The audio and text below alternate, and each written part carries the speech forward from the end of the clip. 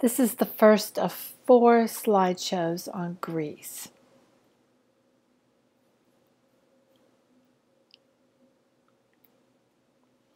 Here's the map of the area we're going to be looking at primarily, although you know, there's a little variance. But uh, this map indicates the three Aegean cultures, and they are in sequence Cycladic and the red islands up here, the Minoan down here, and also up here, but the Mycenaean, this entire encircled area in the green. So just to get your bearings, um, we're going to start only with the Minoan. So uh, here's a view of the Aegean Sea to give you a sense of that beautiful blue sea and the geography of the land. This is the culture we're not really going to talk about. Uh, just I just want you to see what we're skipping over, and this is Cycladic culture, and that's because they're prehistoric. There's not a lot known about them, but a lot of people speculate. And you can see that the pieces that they've left us have a very modern, very stylized uh, appearance in their, in their human forms. But we're going to skip right ahead and go to the Minoan. So, Minoan culture here.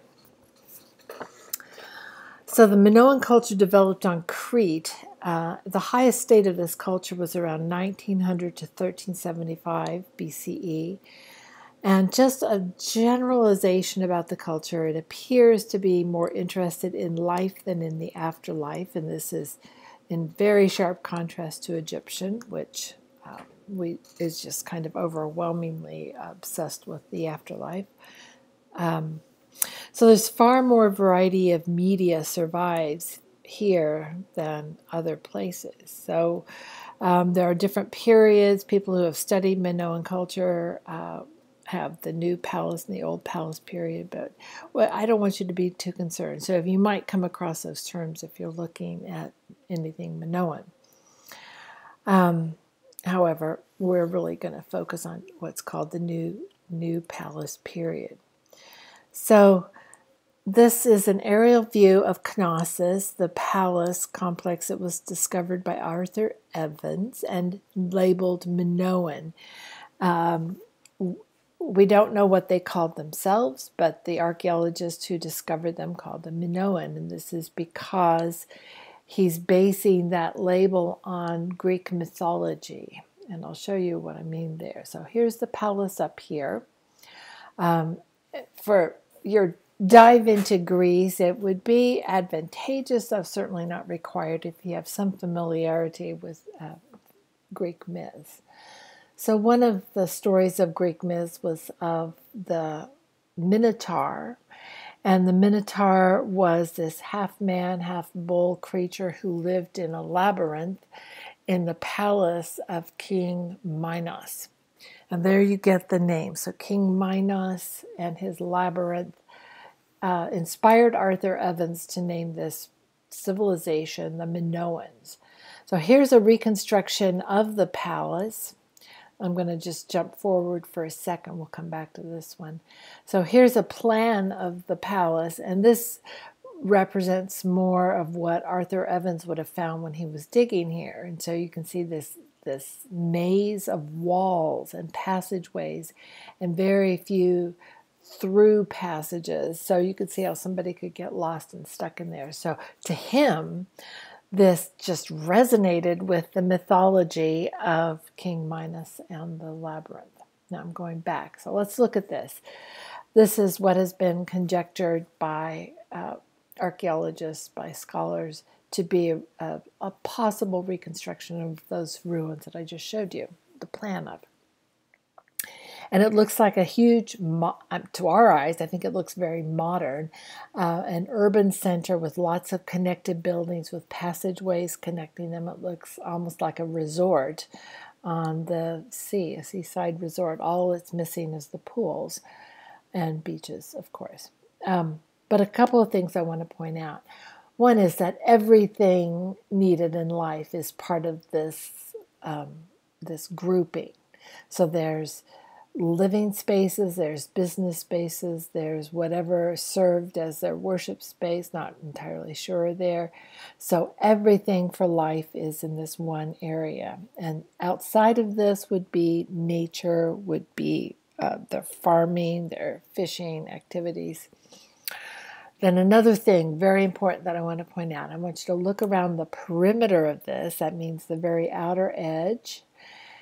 And there's no fortification, there's no way to repel an attack from an enemy. So these people, so you can see right here, this open kind of uh, a porch like area, just it's completely open to the outside. So when I said it looks like a resort, it totally does. People could just stroll out, stroll in at their leisure.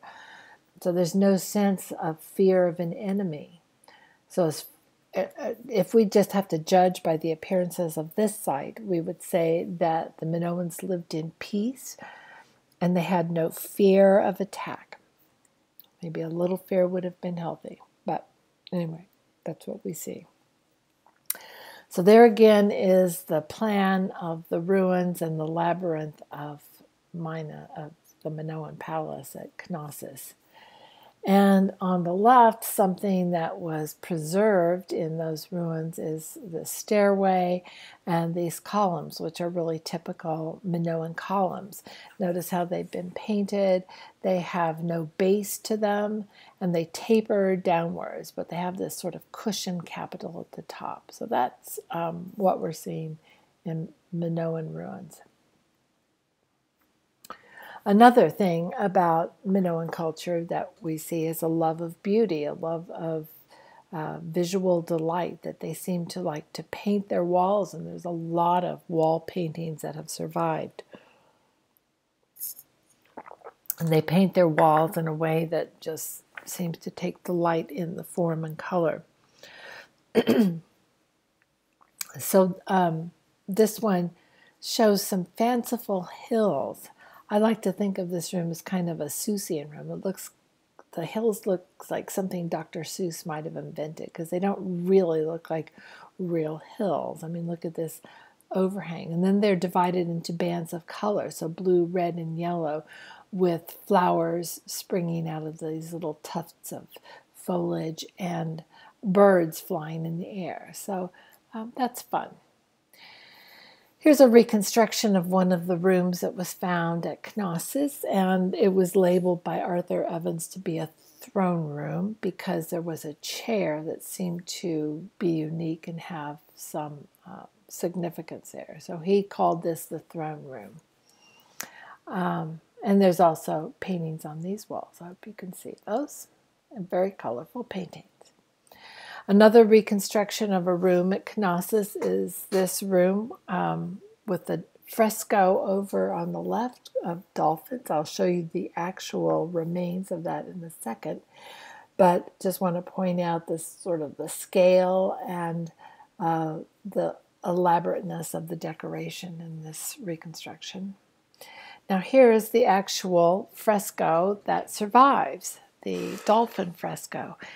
And this shows not only a love of painting, but a love of sea creatures, because they, you know, it's an island. They're, of course, they're near the sea, and fishing and sea life is is part of their culture. So they chose to decorate this room with that. So the dolphins dominate, but they're not the only fish on the wall. I'm sorry, I know they're not a fish, um, but they have lots of little fish here. So um, that's fun. They like the beauty of the sea life, apparently. Here is a painting from another island. Now, this is not from Crete. This is not from Knossos. This is in uh, Akrotiri. So that's an interesting story about that island. Uh, if we had lots of time, I would love to go deeper into what was happening at Akrotiri. Anyway, this is a painting of a human, a woman picking saffron out of one of those Seussian looking hills. And I want you to notice the way she's been depicted. Every time we see an interesting human in a culture, we're going to stop and pause and um, just see how that culture is representing one of their own. So she's shown in profile. Um, she's got a ponytail.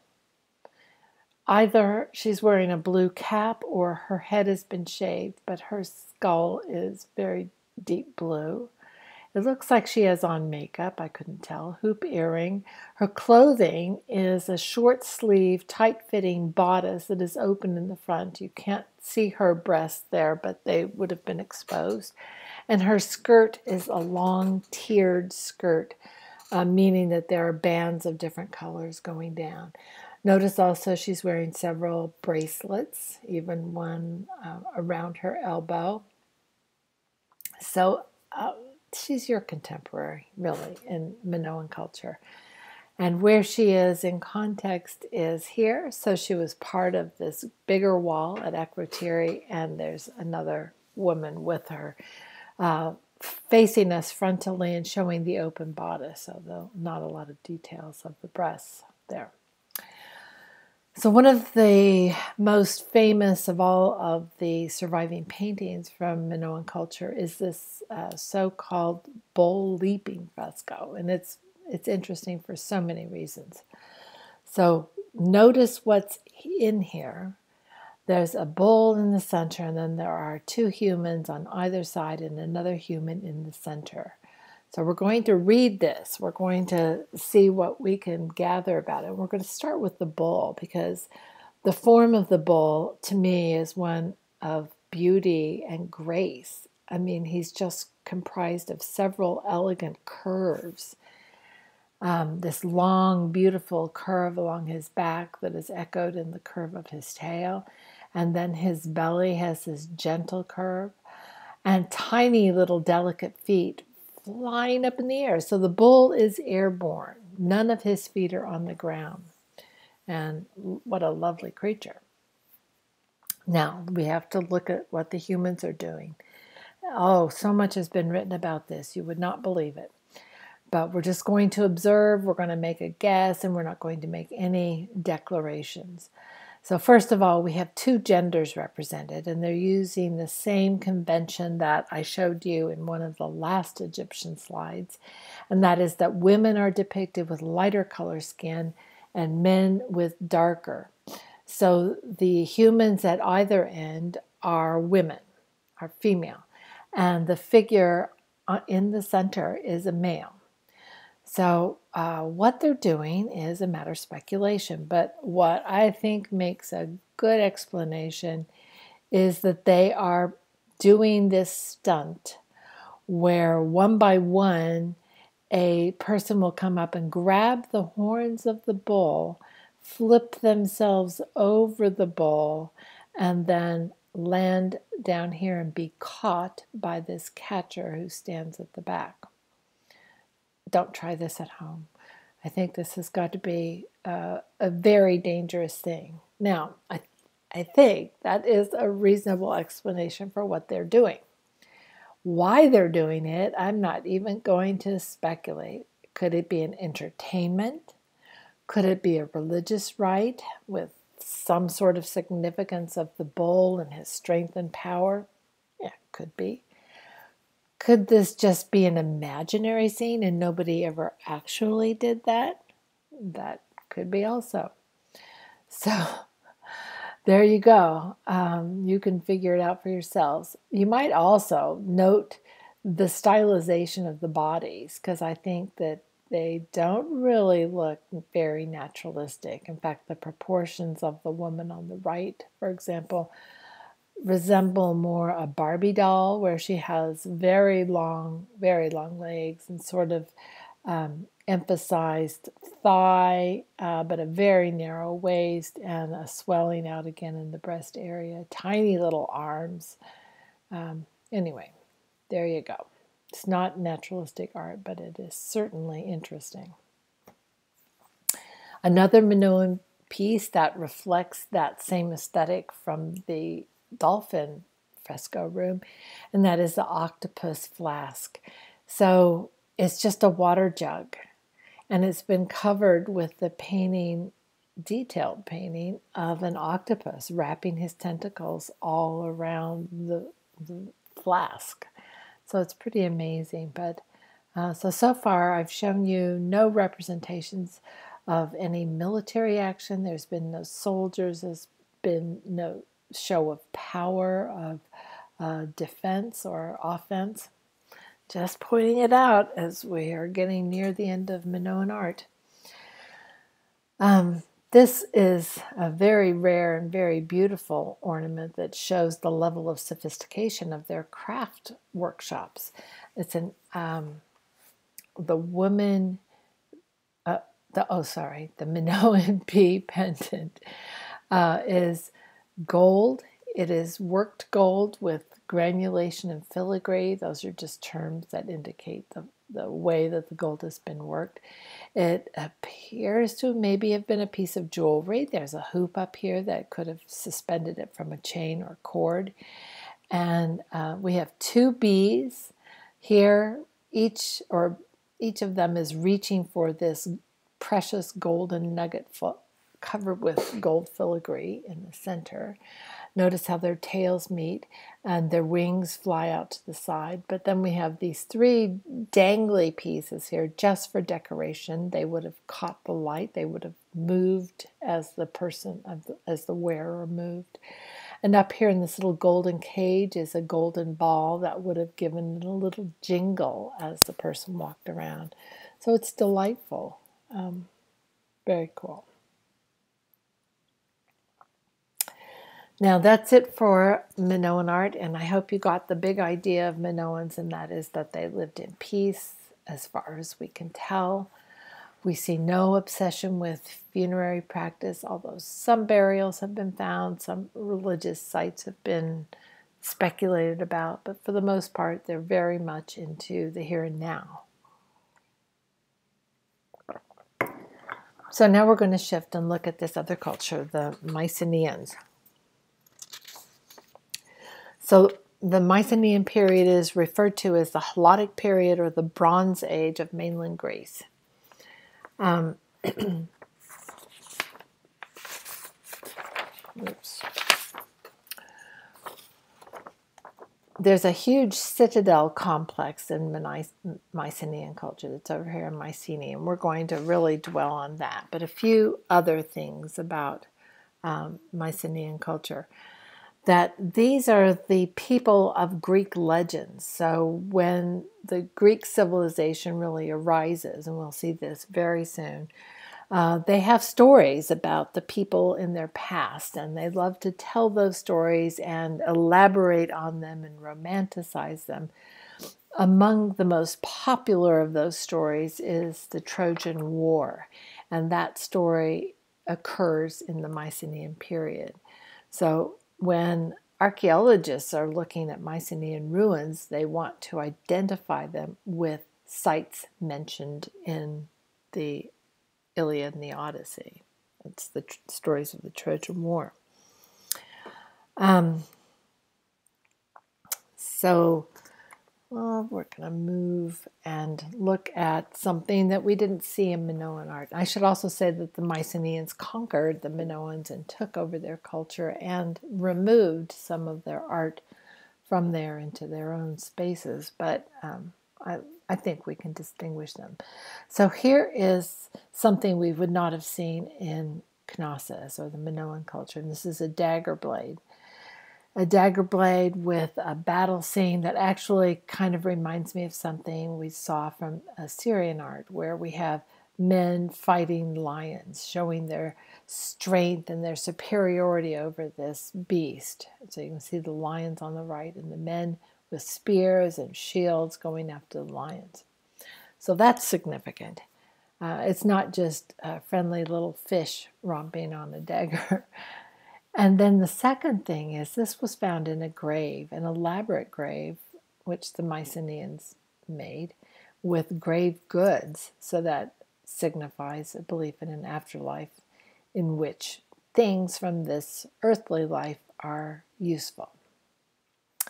So let's look at a grave now. Um, this is probably the most famous of all the graves when it was discovered by the archaeologist Schliemann, who was working on Mycenae, he thought it was a treasury because it was full of great stuff, a lot of gold stuff. And uh, so he named it the Treasury of Atreus because Atreus was somebody from Greek legends that he had read about. And so he thought, oh, this must belong to that awesome king Atreus. But in actuality, it's not. It's just a very large tomb. It clearly belonged to somebody important, but we have no idea who. So there's a lot of uh, significant things about this tomb. First of all, it was a structure, a beehive that was constructed and then it was covered over with soil. So we always have to think about the construction and the sequence. It wasn't carved out of this, the earth, but it was constructed and then covered. So um, the and I'm going to refer to it as the treasury of Atreus just for convenience dates from 1300 to 1200 BCE. The passageway you see here that leads to it is 20 feet wide and 120 feet long. The door leading into the chamber is 18 feet high. that is so high. Um, and the door had been faced with bronze plaques and green marble columns. You can kind of see that in the reconstruction. The chamber is 47 and a half feet in diameter and 43 feet high, and it was corbelled with a capstone. Now, here's another term, um, and it's up here. It mentions the Cyclops.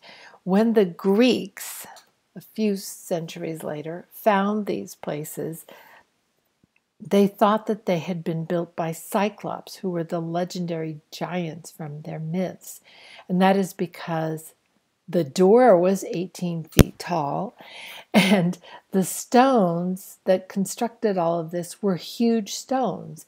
And they just could not imagine how a little puny human being could have built anything with stones that big. So, therefore, it must have been built by a giant, a cyclops. Now, here's a view of the inside of it. So it's kind of a conical building, but the way it's constructed is, gives us a huge open space like we have not seen before, a huge covered open space, which was impossible in Egypt because the the method of construction with stone in Egypt was just post and lintel, just um, having two side pieces and a a horizontal piece over the top, post and lintel. And as I discussed at the time, that's limited because of the weight of the stone. So uh, the Mycenaeans invented or developed or discovered this new this new form of construction called corbelling. I feel like I'm going to sneeze. And here's the illustration of the two.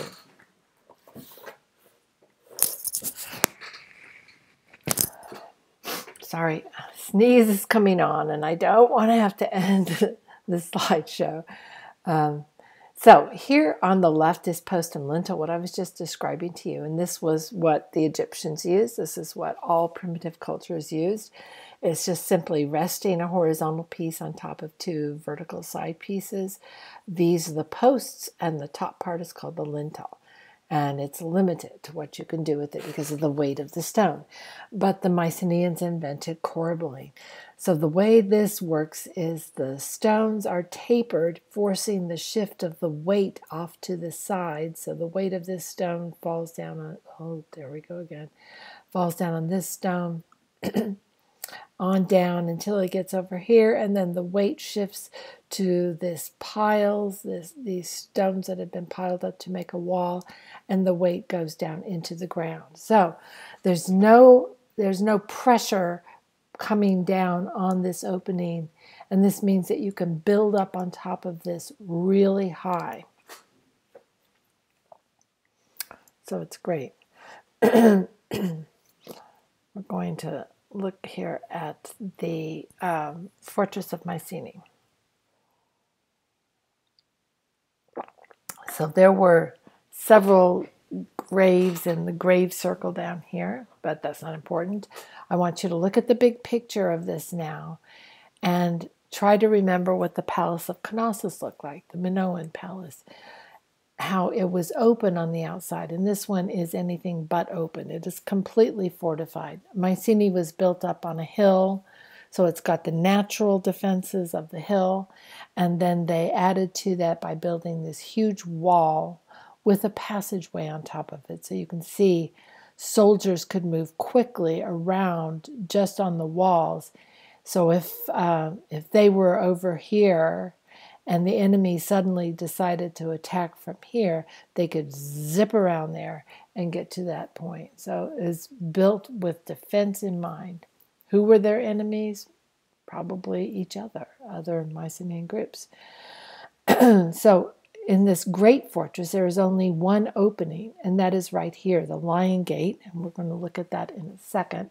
But notice how to get to the opening, anybody coming in must pass between these two uh, built up places here, these structures that would have been filled with defending army, shooting down arrows, throwing spears, throwing fireballs, whatever they could at any attack.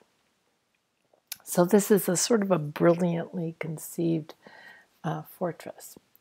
And then within that, you've got all the buildings. I'm going to show you um, a reconstruction of a megaron up here. But first, we're going to look at that gate. This is the only opening in that entire fortress, and this is the way it looked when it was discovered um, by Schliemann and the archaeologists in, um, in, when they first discovered it. I love this picture, so I love to show it. These men in their suits and their little hats. Um, but this shows the size of the gate. The gate itself is post and lintel, but all around the gate we've got corbelling happening. Look at the size of the stone. So that is that cyclopean construction again, huge stones. Um, and the wall, I read somewhere that the wall had gone up for 50 feet above this. that means that there's a lot of weight, a lot of stone up there. And all of that, all of that weight would come down, would bear down, down, down, down, and they get to this point, and that weight would split and move over to one side or to the other side down into the ground. What happens with that is, let me go back to the diagram. Let's look at this one. Is that there's an opening above as the stones split. So, um, necessarily, it's also present on that diagram, this opening here. So it's not a good thing. You know, you'd want to be able to fill that up. So in the case of the lion gate, they plugged up the hole with a carving of two lions, two confronted lions with a column between them. Um, apparently, their heads originally were lapis lazuli, that blue stone that we saw in ancient Near East. Um, so this is not structural.